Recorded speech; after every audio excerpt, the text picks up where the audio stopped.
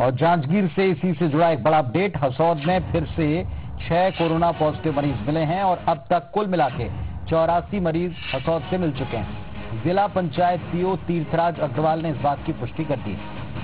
तो जांजगीर से एक बड़ी खबर, छह नए कोरोना मरीज़ मिले हैं, अब तक कुल चौरासी मरीज़ मिल चुके हैं। जिला पंचायत सीईओ तीर्थराज अग्रवाल ने इसकी पुष्टि की।